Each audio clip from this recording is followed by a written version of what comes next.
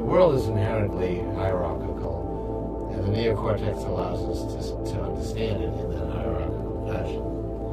It's a fairly recent evolutionary feature. Uh, only mammals have a neocortex.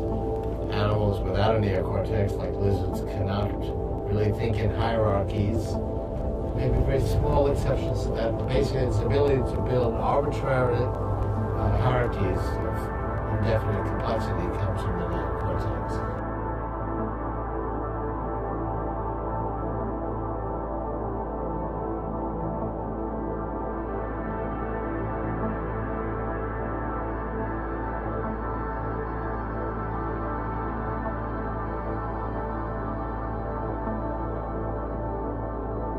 a key part of the technology or engineering of a system like this is its education. I mean, we can do a perfect job of recreating a neocortex and it will do nothing uh, useful. Just like a newborn might be cute and so on, but it doesn't really do much Mhm.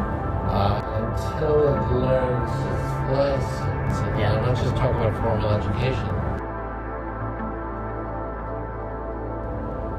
The one hand, it was big enough for human beings to create things like language and art and science and music. Uh, the big innovation of Homo sapiens is we have this big forehead, so we squeeze in more cortex, the frontal cortex.